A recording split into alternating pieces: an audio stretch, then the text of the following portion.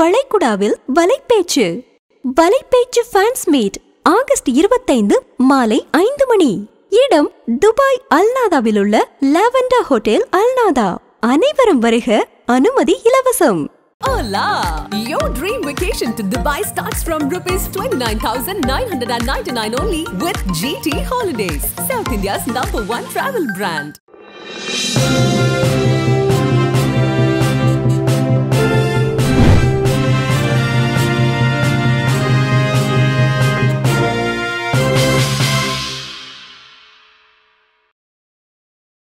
பல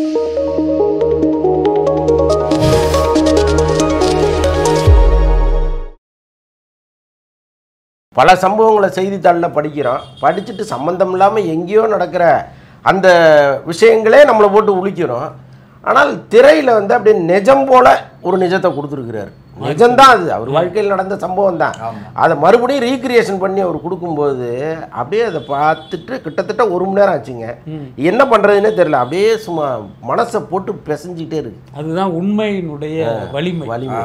ஏன்னா நீங்க ஆயிரம் பக்க கற்பனை கதையை விட ஒரு ஒரு வரி உண்மை வந்து எப்பயுமே ஒரு பெரிய வேல்யூ இருக்கு. ஆனா பொதுவாகவே தமிழ் சினிமாவில் வந்து நிறைய உண்மை கதைகளை நம்ம பார்த்துருக்கோம். ஆனா அந்த உண்மை கதையை படமா எடுக்கும்போது இந்த கதையில் இருந்து நாங்க யாரையும் குறிப்பிடலை. அப்படின்லாம் வந்து ஒரு இது போடுவாங்க டிஸ்கிரிப்ஷன் போடுவாங்க. பட் இந்த படம் பொறுத்த வரைக்கும் மாரி செல்வராஜுடைய வாழ்க்கையில அவருடைய இளம் பிராயத்தில் நடந்த சம்பவங்களுடைய தொகுப்பு தான் அது.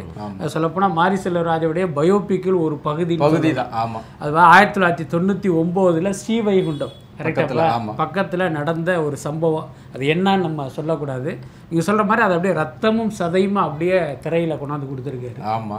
படத்துல வந்து ஹீரோ அப்படின்னா அந்த ரெண்டு பசங்க தான். ஆமா. ஆமா. இரண்டு பெரிய மாஸ். ஹீரோலாம் அதுல கிடையாது. கலையரசன் வந்து ஒரு கேரக்டரா வர்றாப்புல. திவ்யா துரைசாமி இன்னொரு கேரக்டரா வர்றாப்புல. ஆனா இந்த படத்துல ஹீரோ அப்படின்னு பார்த்தா அந்த ரெண்டு பசங்க தான். ஆமா எட்டாம் கிளாஸ் படிக்கிற பசங்க. ஆனா பண்ற வேலையெல்லாம் பார்த்தா அது எட்டாம் கிளாஸ் மாதிரி தெரியல.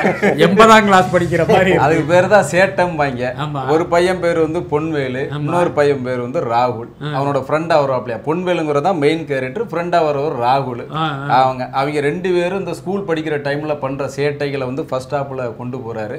செகண்ட் ஹாப்ல வந்து அண்ணன் சொன்னார்ல ஒரு மணி நேரமா நான் அப்படியே என்ன பண்றதுனே தெரியாம இருக்கும்னு. அந்த மாதிரி அந்த கதையை வந்து வேற ஒரு கோணத்துல கொண்டு கேரக்டர் ஒருத்தன் வந்து ரஜினி ரசிகர். ஒருத்தன் வந்து கமல் ரசிகர். அவங்களுக்குள்ள அந்த உரையாடல் இருக்குல்ல அதுதான் வந்து இன்டர்வல் வரைக்கும் நம்மளை கலகலப்பா வச்சிருக்கு. அவங்களுக்குள்ள மெல்லிய காதல் ஒண்ணு இருக்கு. அதை கரெக்டா அதாவது ஒரு டீச்சருங்கிறவங்க ரொம்ப உயர்ந்த ஸ்தானத்துல வைக்கப்பட வேண்டியவங்க அவங்கள வந்து இப்படி நீங்க திரையில காமிக்கிறீங்களேங்கிற ஒரு மிகப்பெரிய சர்ச்சை வரும்னு அவருக்கு தெரியும். கரெக்டா ஒரு இடத்துல அது ரொம்ப அழகா அழகா டீல் பண்ணியிருப்பாரு. இன்னொன்னு மாணவர்களுக்கும் டீச்சருக்குமான அந்த ரிலேஷன்ஷிப் இருக்குல்ல அதை நீங்க ஏற்கனவே அழியாத கோலங்கள்ல எல்லாம் பாலு மகேந்திரா வேற மாதிரிலாம் காட்டிட்டாரு. கிட்டத்தட்ட பாத்தீங்கன்னா இது அந்த மாதிரி தான் டிராவல் ஆகுற மாதிரி நமக்கு தோணும். ஆமா. ஆனா அந்த ஒரு இடத்துல வந்து அந்த டைலாக்கை வைப்பாரு டீச்சர் நீங்க அழகா இருக்கீங்க அப்படின்னு கே சொல்லுவான் அந்த பையன். அவங்க வந்து சிரிச்சுக்கிட்ட ஏன்டா? அப்போ நேத்தெல்லாம் அழகா இல்லையாங்கிற மாதிரி கேட்பாங்க. இல்ல இவ்வளவு நாள் அழகா இருந்தப்ப எங்க அம்மா மாதிரி இருந்தீங்க. ஆனா இன்னைக்கு அழகா இருக்கிறது எங்க அக்கா மாதிரி இருக்கீங்க. அதான் நேத்து வரைக்கும் எங்க அம்மா மாதிரி நீங்க அழகா இருந்தீங்க. இன்னையில இன்னைக்கு பாக்குறப்ப எங்க அக்கா மாதிரி அழகா இருக்கீங்க. அப்ப பாத்தீங்கன்னா இப்ப இது வரைக்கும் பாத்தீங்கன்னா அந்த பையன் வந்து டீச்சரை எப்படி பார்த்தான் அப்படின்னு சில பேர் வந்து வேற மாதிரி நினைச்சிருப்பாங்க. அதையெல்லாம் பாத்தீங்கன்னா அந்த இடத்துல அடிச்சு நொறுக்கி அதாவது நீங்க சொல்ற சீன் வர்ற வரைக்கும் நிறைய பேர் அப்படிதான் நினைச்சிருந்தாங்க. ஆமா ஆமா. அதுக்கப்புறம் நீங்க அந்த சொன்ன அந்த.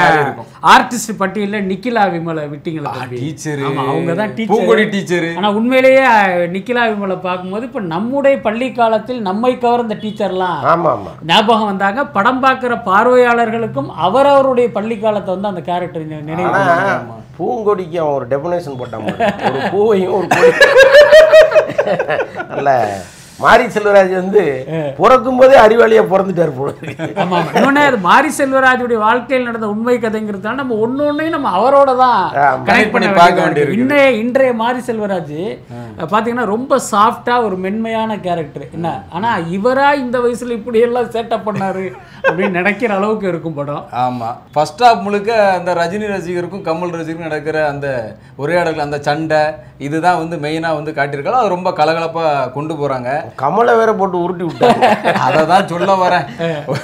பொதுவா பார்த்தீங்கன்னா ஐயா ரெண்டு பேருமே வந்து வீட்டில் வந்து சனி ஞாயிறு லீவுனா உடனே வாங்க காய் சுமக்க போங்க. வந்து கூட வாங்கன்னு கூப்பிடுவாங்க. அதுக்கு பயந்துக்கிட்டு வந்து கட்டிலுக்கு அடியில் போய் படுத்துருப்பாப்புல. அந்த சிவனைந்தா அப்படிங்கிற கேரக்டர் வந்த அந்த பையன். திவ்யா துரைசாமிட்டு தம்பி தம்பி. தம்பி கேரக்டர். அதில் வந்து இப்போ அவனும் ஃப்ரெண்டும் வந்து பேசிக்கிட்டே போவாங்க. என்னன்னா இந்த வாரம் நம்மளை கூப்பிடாம நம்ம வந்து காய் சுமக்க போகக்கூடாது அதுக்குன்னு என்ன பண்ண போறோம்னு கேட்டோன்னா அந்த ஒரு ஒரு பையன் சொல்லுவான் ஒரு இது இது ஊக்கு எடுத்து காலில் குத்திப்பான். நம்ம. உடனே ஏ நீயும் குத்திக்க அப்பதான் தப்பிக்கலாமா ஆ, நாங்கெல்லாம் வந்து கமல் ரசிகர். ஏன் உங்களோட நாங்கள் சூப்பராக நடிச்சிட்டு முள்ளு குத்திக்காமே முள்ளு குத்துற மாதிரி நடிச்சிட்டு மாதிரிலாம் அவனுக்கு ஒரு. பல்பு கிடைக்கும். பட் அது ரொம்ப இன்னும் சொல்ல போனா இரண்டு சிறுவர்களை வைத்து எடுக்கப்பட்ட படமாக இருந்தாலும் படம் முழுக்க அந்த சுவாரஸ்யத்துக்கு பஞ்சமே இருக்காது. அதே மாதிரி அதுக்குள்ள ஒரு மெல்லிய சோகமும் அப்படி இளையோடிக்கிட்டே இருக்கும். கடைசியா கிளைமாக்ஸ்ல தான் நம்மளை வந்து உருக்கி அப்படி ஒரு கண்ணீர் வழியை வெளியே அனுப்புறாரு மாரி செல்வராஜ். நான் எதான் எப்பயுமே. கதை எழுதும் போதே அந்த எடிட்டிங்கையும் சேர்த்து எழுதிடுவாருன்னு நினைக்கிறேன். ஏன்னா ஓப்பனிங் ஷாட்லயே மாடு காணா போயிடும் அவன் வந்து ஒரு மாதிரி அம்மா அம்மான்னு கத்திக்கிட்டே அந்த மாடு கத்துற மாதிரியே போவாங்க அப்படி ஆனா அவன் ஏன் கத்துறான்னு நமக்கு தெரியாது. அதுக்கப்புறம் தான் மாடு காணா போற விஷயம் வரும். அதே மாதிரி வந்து இந்த கட் பண்ணி கட் பண்ணி அந்த கதையை அவர் கொண்டு போறாரு. கடைசியா இந்த கிளைமாக்ஸுக்கு முன்னாடி வந்து ஏற்கனவே ரொம்ப துவண்டு போய் ஐயோ இப்படி ஆயிருச்சேன்னு இடிஞ்சு போய் உட்காந்துருக்கான் அந்த குடுகுடுப்பக்காரனுடைய ஒரு ஷாட்டை அது படத்துக்கு போட்டு அப்பப்போ. அப்படி ஒரு பறவை கூட்டம் ஒன்று பறக்கும். நிஜமாவே அந்த இடம்லாம் கொஞ்சம் சிலுத்து போய் உட்காந்துருந்தேன் அது உண்மையில் அந்த பல பேர் வந்து வாரி செல்வராஜை பாராட்டுவதற்கு காரணம் என்னன்னா அவருடைய திரைமொழிங்கிறது ஒவ்வொரு படத்துக்கும் பார்த்தீங்கன்னா ஒரு மிகப்பெரிய அளவில் வந்து அப்படி ஒரு முன்னேற்றம் தெரியுது அது. கிராம தெய்வங்களை கொண்டு வந்து காமிப்பாரு. ஆமா. அது பேசாமலே பேசும் படத்துல. அது வந்து ஒவ்வொரு படத்துலயும் அது மாதிரி காமிப்பாரு. இந்த படத்துலயும் அப்படி கிராம தெய்வங்கள் இருக்காங்க. அது முக்கியமாக இப்போ மாரி செல்வராஜ் பற்றி நம்ம நிறைய சொல்லலாம். ஒரு இயக்குனராக வந்து அவருக்கு இந்த படம் வந்து ஒரு மிகப்பெரிய அஹ், பெருவெற்றியை கொடுக்குற ஒரு படம் தான். அதே நேரம் இந்த படத்தில் நடித்திருக்கிற இப்போ ஒரு கலையரசனாக இருக்கட்டும் கலையரசன் நம்ம பல படங்களில் பார்த்துருப்போம். ஆனால் இந்த படத்தில் கலையரசன் நீங்கள் அந்த கதாபாத்திரமாகவே இருப்பார் அட கலையரசனா இது அப்படிங்கிற அளவுக்கு பார்த்தீங்கன்னா ஒரு வேற ஒரு மனுஷனா அந்த திரையில் அந்த வாழைத்தார் சுமக்கும் போது கரை பட்டுரும் அந்த கரை கரைப்பட்ட கைலி அந்த சட்டை அந்த துண்டை இப்படி போட்டுக்கிட்டு அந்த அதுக்கேத்த மேக்கப்லாம் போட்டுக்கிட்டு அச்சு அசல அந்த ஊர்க்கார் மாதிரியே இருக்கிறாப்புல. ஆமா அதே மாதிரி திவ்யா துரைசாமி. அவங்க வேறு சில படங்கள்லாம் நடிச்சிருந்தாலும். எனக்கு தெரிஞ்சு முதல் முறையாக அவங்களுக்கு வந்து அப்படி பொருத்தமான கதாபாத்திரங்கிறது இந்த படம் தான். சொல்ல போனா அவங்க இது போன்ற கதாபாத்திரங்கள்ல வந்து. எடுக்கிறது இல்லையா? அதே மாதிரி நிக்கிலா இவங்களுடைய கேரக்டர் நம்ம ஏற்கனவே சொன்ன மாதிரி ஒரு பிரமாதமான கேரக்டர் எல்லாத்துக்கும் மேல இந்த இரண்டு சிறுவர்கள். ஆமா. அதுவும் அந்த கமல் ரசிகருக்கு ஏற்படுகிற அந்த முடிவு வந்து உண்மையில மற்றவர்களை விட நம்மளையும் கலங்கடிக்குது. படத்தை என்ஹான்ஸ் பண்ணி கொடுக்கறது வந்து இசை. இசை. முதல் இடத்துல அவரை கொண்டு போய் வச்சிடணும். சந்தோஷ் நாராயணன். ரொம்ப பிரமாதமா அப்படியே உழுக்குறாருன்னு வைங்களேன். கடைசியா கிளைமாக்ஸ் கிளைமாக்ஸ்ல அந்த ஒப்பாரி ஒப்பாரி song. ஆமா. அது வந்து உண்மையிலேயே உருக்கி எடுக்குது. ஆமா. பின்னணி இசையிலையும் அவர் வந்து வழக்கம் போல பின்னி எடுத்து தண்ணி எடுத்துட்டாரு. அப்புறம் எப்படி இந்த படத்துக்கு வந்து சந்தோஷ் நாராயண் வந்து ஒரு பில்லரோ அதாவது இந்த படத்தை நம்ம வந்து ரொம்ப ஈடுபாட்டோட ரசிக்கிறதுக்கு அவர் ஒரு பில்லரோ இன்னொரு பில்லர்னா சினிமாட்டோகிராஃபர் தேனி ஈஸ்வர்.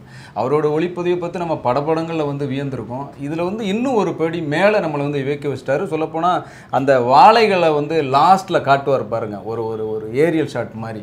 அதெல்லாம் வாழை தோட்டமே. வந்து பாக்குறதுக்கு அப்படி அது அப்புறம் அந்த வயக்காட்டில் நடந்து வாழையை சுமந்துட்டு நடந்து போகிற மாதிரியான அந்த காட்சிகள். இல்ல அது மட்டுமே இல்ல இவங்களுடைய கிராமம் இருக்குல்ல இவங்களுடைய வீடு அதுல வச்சிருக்கிற அந்த ஒவ்வொரு கேமரா கோணம் ஆமாம் உண்மையிலேயே பாத்தீங்கன்னா அந்த அப்படி இருக்கு. ரொம்ப லைவாக இருந்தது. அந்த படத்தோட வந்து நம்ம ரொம்ப கனெக்ட் ஆகுறதுக்கு இது வந்து ரொம்ப ஒரு முக்கியமான காரணமா. ஆனா ஒண்ணு இந்த மாரி செல்வராஜ் கேரக்டர்ல ஒரு பையன் நடிச்சிருக்கானே. மாரி செல்வராஜ் கேரக்டர்னா மாரி செல்வராஜ் இளவயது இளவயது. ஆமா.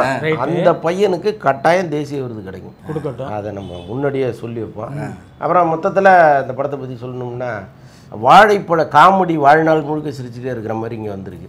ஆனால் வாழையை வச்சு ஒரு ட்ராஜடி வாழ்நாள் முழுக்க அழுகிற மாதிரி ஒரு படத்தை கொடுத்துருக்குறாரு.